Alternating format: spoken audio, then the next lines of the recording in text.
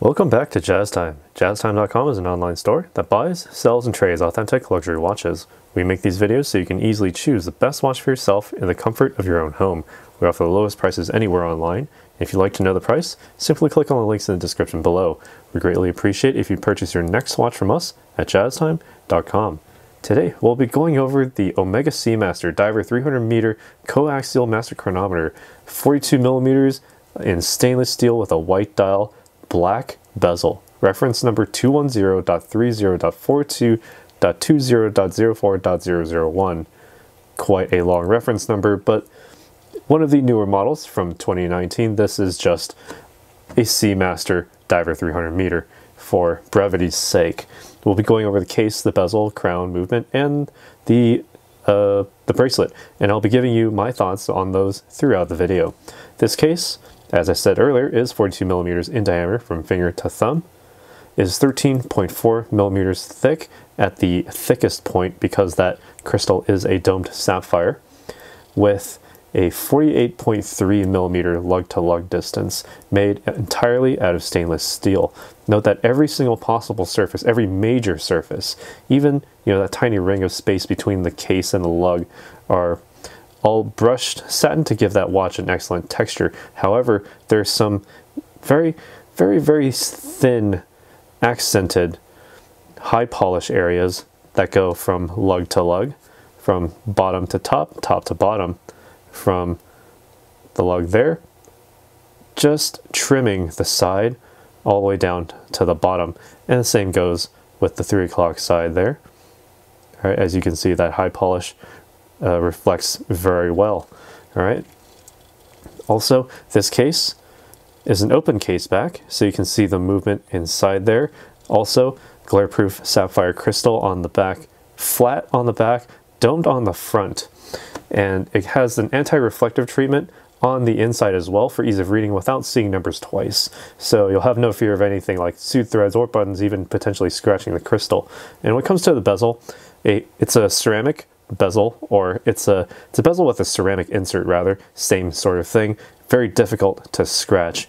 Um, kind of a fingerprint magnet, but I doubt you'll really be leaving much there.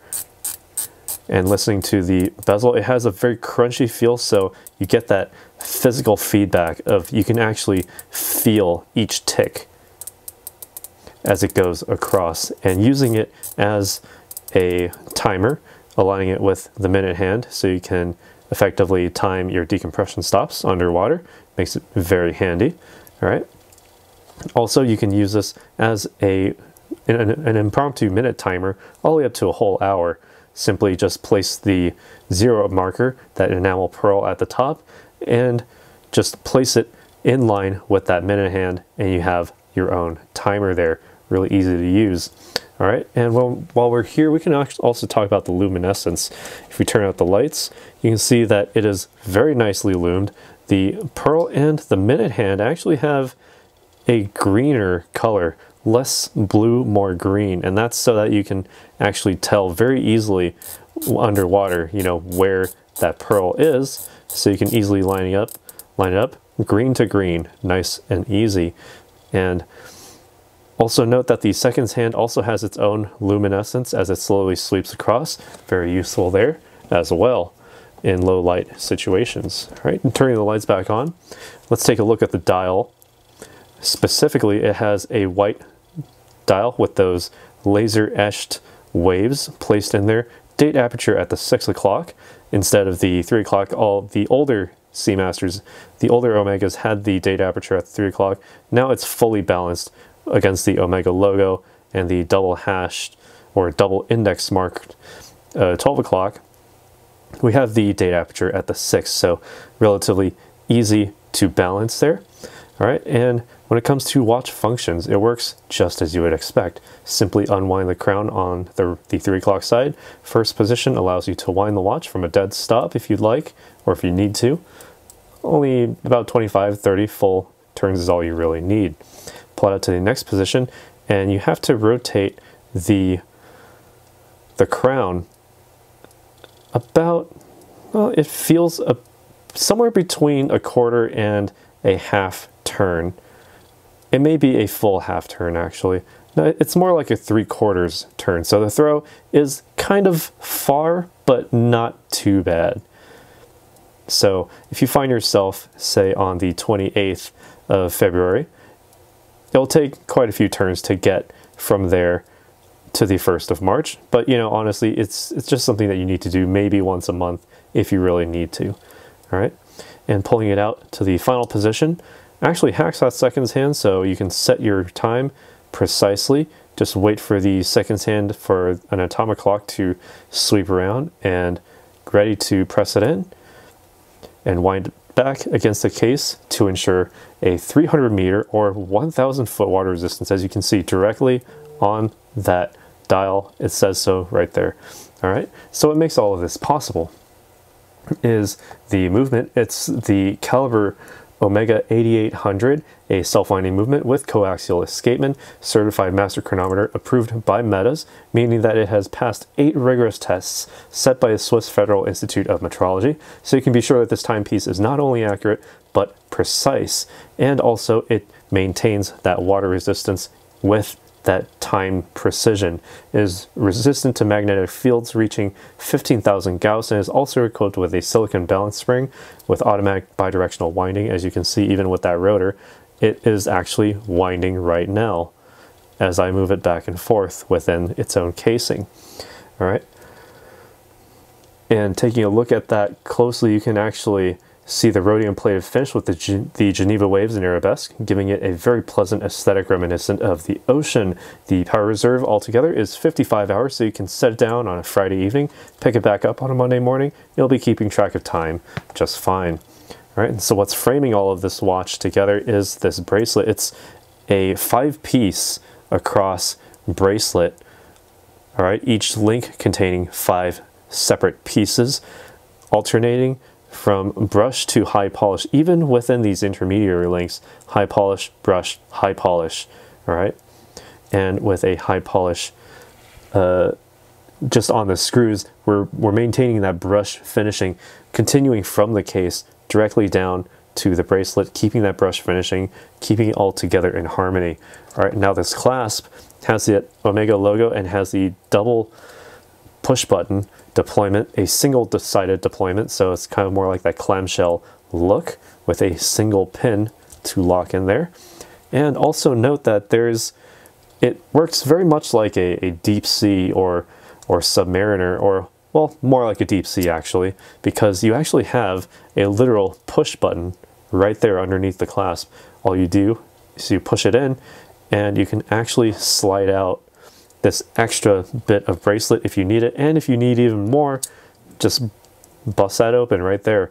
Extra, extra clasp so that if you have this sized perfectly to your wrist at the smallest position, you can even put this on over a wetsuit. So you can actually have your watch out with you as you dive. All right, and now that we have this open, I can try it on, give you some more of my thoughts as to how it feels.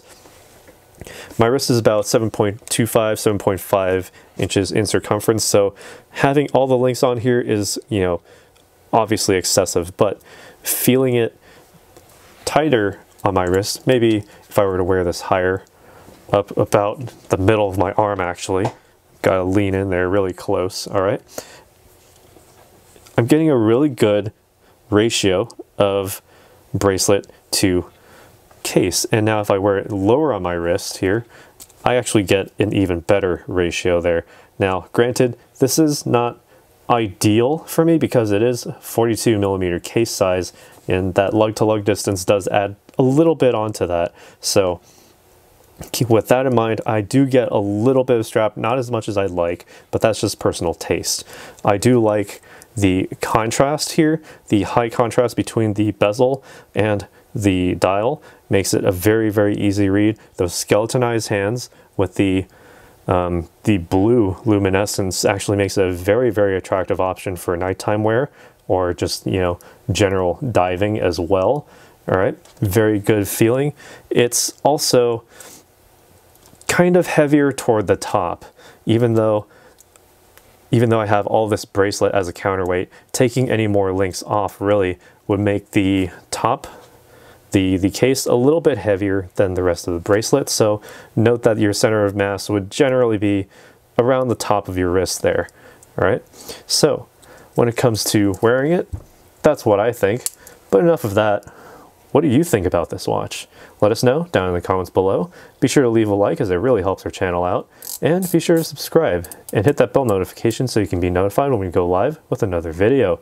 And as always, if you'd like to purchase this watch or any other watch, current, prod current production or discontinued, let us know. See us at jaztime.com. Links in the description below. If you want to find out more about the watch you just saw in the video, you can just click below on show more to see the full description. Then you can check the link next to model as seen in video, click on it and you will get to the proper page where you can see all the details. If you're watching on a mobile phone, you have to click on the arrow down on the right hand side below the video to see the full description. If you like this video, please give us a thumbs up. If you would like to share this video with your friends, you can use the share button below and share it on any platform you like.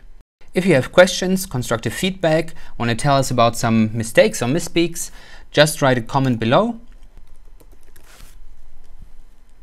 If you want to see more videos like this, you should subscribe to our channel and visit our channel page where you can find all the videos and if you're interested in a specific watch brand, you can check out our playlists if you want to check the price for a watch or want to buy one, remember at jaztime.com you always get a steep discount, so you should check the prices with us. If you want to know the price for a specific watch, just go to Google, type in JazTime, plus the brand, model and the details you're interested in, and Google will find the right page for you.